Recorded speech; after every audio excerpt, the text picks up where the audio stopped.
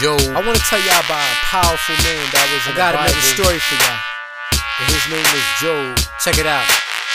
The story This is about a a powerful man man named Check Job. One day an angel came to God with Satan. God knew they was coming, so he was just waiting.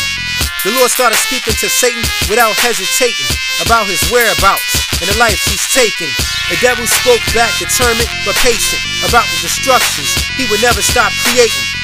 God spoke about his children, that's elevated.